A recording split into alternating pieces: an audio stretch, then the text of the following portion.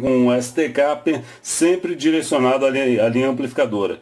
É devido à grande gama deles serem ainda apresentados, existe muitos aparelhos de som ainda que utilizam a etapa STK, tá? Onde é um, um circuito integrado híbrido. Por que híbrido? Ó, vou arrancar a capa dele, tá vendo? Ele tem uma capa, aonde ele tem uma composição interna de transistores, tá vendo? E existem componentes SMD que fazem a função de, é, que são os resistores, né? Isso aqui eu tenho um pré-amplificador e um amplificador na parte interna dele. Aqui podemos observar já a sua característica gráfica numa parte interna aonde é, demonstra o que eu comentei. Aqui tá, já está no formato DIP, diferente daquela onde lá demonstrar o posicionamento dele. A composição interna dele é de resistores, é, um transistor, tá? PNP e um outro transistor NPN na linha do terminal 7 aqui.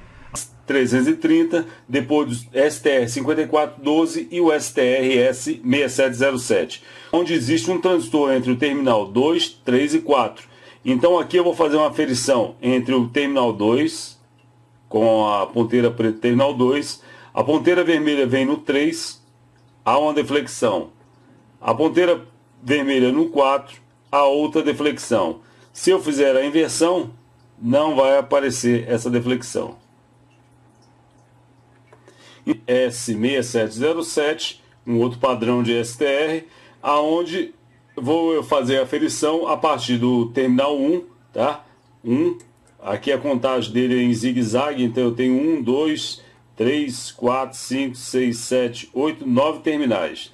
Então eu vou pelo terminal 1 como referência, o terminal 2 eu coloquei a ponteira preta e no terminal 3 a ponteira preta. Houve uma deflexão.